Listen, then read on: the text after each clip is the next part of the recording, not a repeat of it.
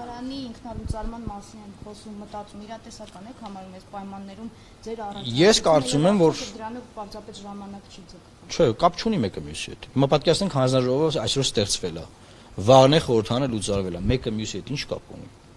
ստեղծվել է իր օրենքի ուժով իր իրավական բնույթով ինքը քննելու է։ Հիմա ես կլինեմ падգամավորեն, մեկը չի լինի, ինչ կապ ունի դրա հետ։ Այսինքն ես քննությունը կապ չունի, պետք չի կապել քաղաքական process-ների հետ։ Վարչապետի հրաժարականի պահանջի հետ, արտահերտ ընտրություն պետք չի կապել դա։ Ընդհանրապես ուրիշ ազգային հարց է։ Սա պետք է այս հարցը լուծել։ Ինչ հրաբերում է նրան, որ կարող է հիմա լուծավի խորհրդանը, հա, դե ասենք, հա, թող լուծարեն։ Ամեն օր առավոտ արթնանում են, տեսնում էլի դեռ չեն լուծարել։ Թող լուծարեն։ Դե հիմա հիմա սպասում ենք վերջնական, որ այս նախագիծը մերժվի, որ պատասխաններին էի սպասում։ Հիմա դաշնակցության պատասխանը մի շաբաթ առաջ եմ ստացել։ Ուզեմ ասեմ, այս մասով մի հատ էլ կարող ենք բանավոր քննարկումների շարք անենք, նակ հանդիպենք խոսենք, գոնային ուժերի հետ, որոնք որ չեն բացառում ստեղծվել, հա։ Եվ տեսնենք, եթե օրենքի նախագիծ ենք կազմում, օրենքի նախագիծ կազմենք։ Իդեպ դուք կողմ եք լինելու ազգային ժողովի ինքնալուծարմանը, եթե իհարկե նման նախագիծ բերվի։ Ամեն օր սպասում ենք, որ լուծարվի։ Լուծարման ընթացակազմը կգիտեք, պետք է որ վարչապետը տա հրաժարական, երկու անգամ չընտրվի վարչապետ եւ խորհրդանը լուծարվի։ Ասում եմ պետք է ընդդիմության հետ մենք քննարկենք, գանք ընդհանուր Քննարկել են, մենք էլ ասել ենք, այո, լուծարեք։ Բայց դուք ասում եք, որ ձեր տեխնացությունը առաջարկել։ Այո, բայց դա ինչի նախանգարում։ Ա կարող է ինձ ընտրեն։ Դե դա արդեն այլ հարց է։ ընտրեն։ Բազմաթիվ, այսպես տեսակետներ են հնչում այն մասին, որ Նիկոլ Փաշինյանը կամ դավաճան է, կամ մատնված է եղել հանցավոր անգործության եւ պետք է հայտնվի ամբասկանյալի աթոռին։ Ձեր տեսակետը եւ որին եք ավելի շատ տեսնում։ Նորապես ես ես 20 րոպե այդ հարցին եմ պատասխանում։ Այդ պայտետային հանձնաժողովը որ կքննի, եթե մենք քննության արդյունքում կանգնանա, որ ինքը դավաճան է, Դուք կասկածելի ոչինչ չեք տեսել, այսինքն պարտադիր պետք է շատ տեսել եմ, ոչ։ Այնքան կասկածելի բան կա։ Օրինակ ես չգիտեմ թե ինչի է ազին կոմիսարատների ա, կողմից կազմակերպված process-ը իսա թողնվել եւ կոչարվել ջոկատներ կազմել։ Օրինակ 30 հոգով հավաքվեք, ձեր մեջից ընտրեք մեկին եւ գնացեք պատերազմ։ Օրինակ է- իրավիճակը նաև նույնիսկ 44 օրյա այսպես պատերազմի ընթացքում հասարակությանը տարբերաբար Ես- ապարտեղեկատվություն Դուք չեք պատկերացնում։ Հովանիսյանը կարող դակտիրեց, հա, այս Դուք չեք պատկերացնի թե ինչքան տեղեկատվություն կա, որ դրա մասին մամուլում ոչ մի քննարկում չեղի ու եւ դուք չգիտեք։ Բայց ես գիտեմ։ Այնքան կասկածելի բան կա, դե դրա համար էլ ուզում ենք որ այդ պայտետային հանձնաժողովը ստեղծվի։ Կլինի ամփոփության, կլինի ամփոփության բան։ Չէ, այդ ինֆորմացիան պետք է ուսումնասիրել, իրապանային դիմելով, ուղակի դիմել, որ քրեական գործի հաղորդում տալ, որ ստանալ մերժում եւ վերջ, դա process չի։ Դա քաղաքական process չի։ Քննարկումն է process։ ոչ թե քննարկումն է process, այլ մարդկանց կարճել, հարցաքննել, փաստեր ուզել, փաստաթղթեր ուզել, մտնել գաղտնի տեղեկատվությանը ծանոթանալ, արձանագրությունները հանել, չպատմեմ, հա, հանձնաժողով ոնց է գործում։ Ինչ եք ասում։ Չգիտեմ, հանձնաժողովը չի ստեղծվել, ասում եք ով է իմով արել։ Ինչ իմանամ։ Հույս ունեմ, որ ընդդիմությունից ինչ որ մեկը։ Պարոն Մարուկյան, Արցախի կարգավիճակի հարց մասն եմ ուզում հարցնել։ Երեք Մեդվեդևը ասել է, որ Թուրքիան էլ կարող է նախ կարգավիճակի հարցը հնարավոր է հետաձգվի եւ չի բացառել նաեւ Թուրքիայի մասնակցությունը այս գործընթացներում։ Սա այսպես ինչպես է գնահատում այս հայտարարությունը, parz է որ Թուրքիայի պահանջը որն է, այսպես ամբողջական անգամ այն ինչ որ մնացել է այսպես վերադարձնել Ադրբեջանին, արդյոք հնարավոր է տարբերակ, որ Արցախը, որը որ ինչ հատվածով որ մնացել է այսօր, որպես ինքնավար մարզ մնա Ադրբեջանի կազմում։ Այդպիսի զարգացում դուք տեսնում եք եւ արդյոք Հայաստանը շարունակում է մնալ Արցախի անկախության երաշխավորը։ երկու հարց եք տալիս։ Առաջինը Թուրքիայի մասնակցության հետ կապված իմ դիրքորոշումը, մեր դիրքորոշումն այն է, որ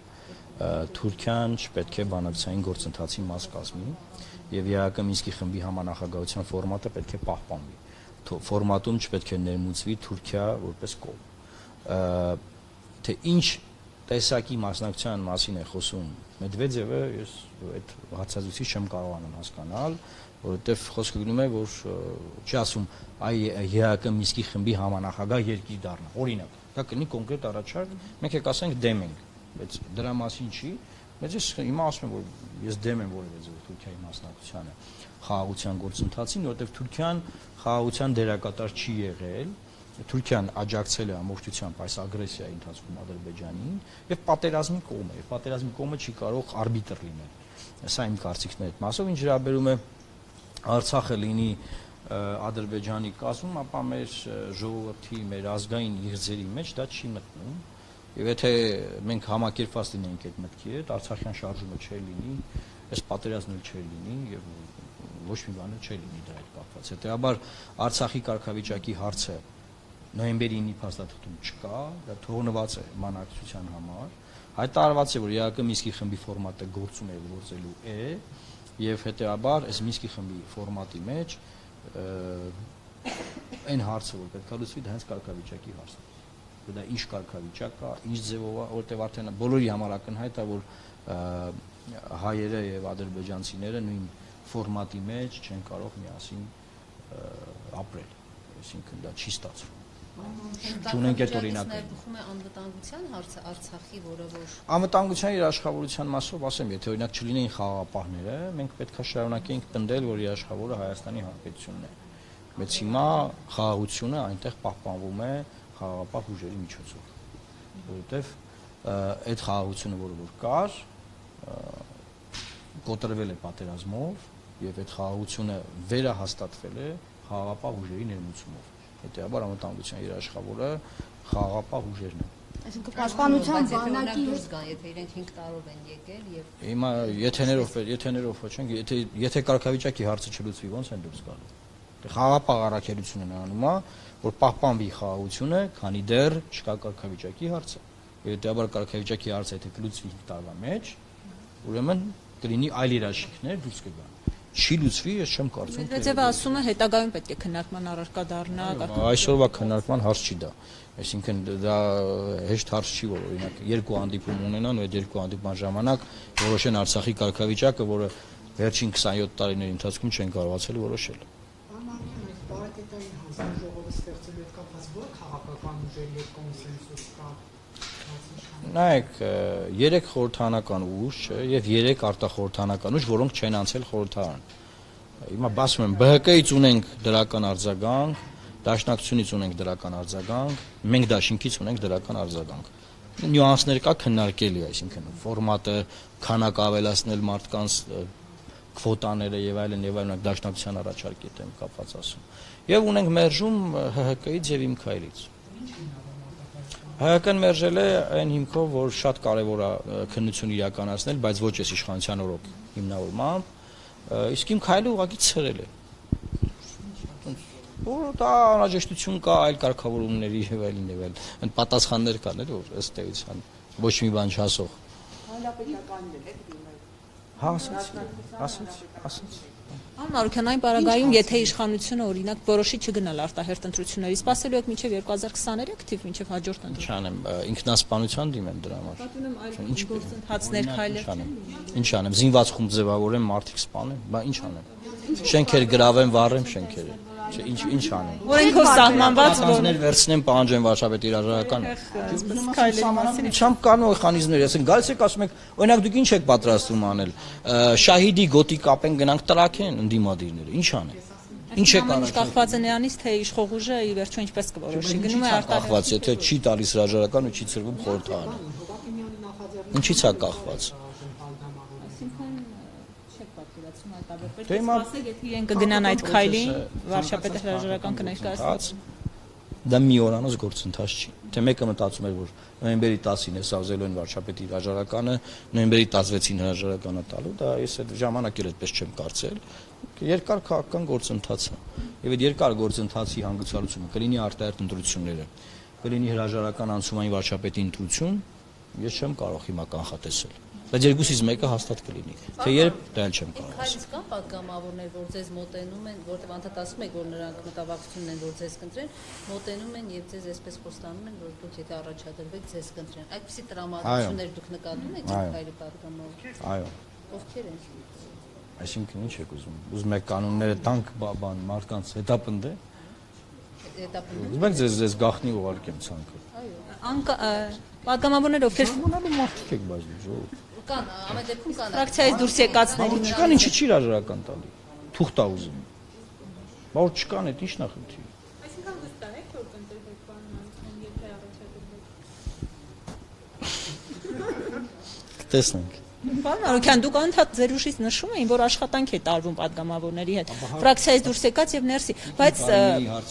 այո, բայց իրենց հետ բարբերաբար հարցազրույցներում իրենք ասում են մեզ հետ որևէ աշխատանք չի տարվում, նաեւ ֆրակցիայից դուրս եկած հատկապես падգամավորներ աշխատում իրենց հետ։ Կուժեղացնենք աշխատանքները։ Ինտենսիվացնենք։ Ինտենսիվացնենք, ավելի ինտենսիվ կաշխատենք։ Ուրեմն ես գրել եմ նախապատերազմյան շրջան, թե մենք պատրաստվել ենք պատերազմին, թե ոչ եւ եթե այո, ինչպես ենք պատրաստվել։ Օրինակ, սուերի գնում, տորերի գնում, շատ է, չէ՞, շարքված քննարկվող հարցա։ Բայց ամենաառաջինը դիվանագիտական հարթակը։ Այսինքն բանակցությունները տապալվել են, եթե այո, ով է տապալվող եղել, տապալման նախաձեռնողը եղել, հա, այս հատվածը ամբողջությամբ ուսումնասիրվելու է։ Հետո սեպտեմբերի 27, մինչև սեպտեմբերի 27-ը մենք տեղյակ ենք եղել, որ պատերազմի նախապատրաստություն կա եւ հեսա հարցակվելու են մեր վրա։ Իմ ինֆորմացիայով տեղյակ ենք եղել, ու ոնց է եղել որ Տոնոյանը գնացել է ծնունդ Հայաստանում չի եղել, իմանալով որ հեսա մեր վրա են հարցակվելու այդ հատվածը եւ հետո պատերազմ։ Ով է պատերազմը կառավարել, ինչպես է կառավարել, հրամանները ովքեր են տվել, ոնց է որոշվել, որ գնդերը, որ գումարտակները, որ ստորաբաժանումները որտեղ պետքա կիրառվեն, ինչ չափով պետքա կիրառվեն, ոնց է որոշվել, որ մեծ խմբերով պետքա կռվենք, ոնց է որոշվել ինչ զենքեր պետքա կիրառենք։ Բազմաթիվ բաներ կա, որ մի մասը չեմ կարող ասել, որովհետև սա սա գաղտնիության ռեժիմի հարց է, որովհետև հիմա մարդիկ կան հարցազրույցներում բաներ են խոսում, առանց հասկանալ, որ իրանք Ադրբեջանին ամենօրյա ռեժիմով նոր փաստեր են տալիս մեր դեմ միջազգային դատարաններում աշխատել։ Այսինքն դուք կարծում եք այդ հանձնաժողովը պետք է կառավարության որոշմամբ ձևավորվի, ճիշտ եմ հասկանում։ Այլևս այդպես չեմ կարծում։ Սկզբից արագության համար, որ արագ ստեղծի օրենք չընդունենք երեք ընթերցում բան։ Արագության համար այդպես եմ նախաձեռնել, բայց հիմա արդեն այլևս այդ անիմաստ է դառնում։ Ես կարծում եմ արդեն մերժում եք ստացել, որտեղ ասացիք, որ ստացել եք իմ քայլ։ նայեք, իմ քայլի քաղաքական մեծամասնության ղեկավարին եմ դիմել ես եւ իրենք քննարկել։ Թե իրենք որոշեին, որ իրենք համամիտ են, կառավարության որոշումը կլիներ։ Հիմա իրենք մերժել են,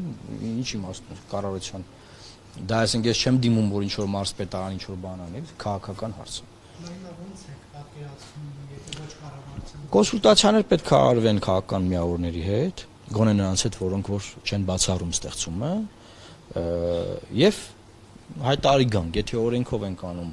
ապա ինչպիսի մարմին ենք մենք դա նախաձեռնում որ լինի,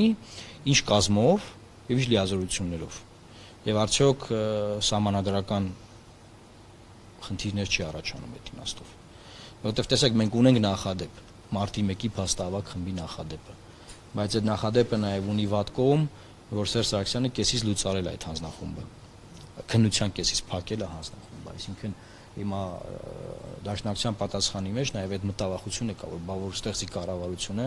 աշխատենք, աշխատենք, աշխատենք, մեկ էլ լուծարի որոշումով։ Հետաբար նաև օրենքի հարցը օրենքով ստեղծելու ավելի է առաջնային դառնում, ասենք կոնկրետ ժամկետ ֆիքսել, օրինակ 1 տարի ժամանակում գործում է հանձնաժողով։ Տարին լրացավ պետք է լինի զեկույց, չեղավ լուծարվում է, օրինակ տարբերակներից մեկը։ Կարծում եմ շնորհակալ